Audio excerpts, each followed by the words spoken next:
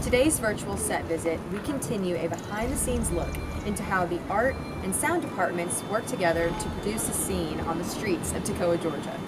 Our job uh, on every scene really is to get as clean of audio as I can Got another one right here. to the uh, you know to the camera and things like that. We were on the bench before they started walking, and they literally had like half a line to finish, and then the bell rung on the church. So I'll be truthful, on that scene there were tears in my eyes because it's a good scene.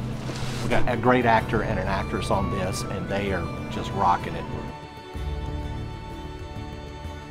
When we first uh, scouted the building, we, we, uh, we knew that Michael, the director, wanted them to have this nostalgic trip on the, on, on the street.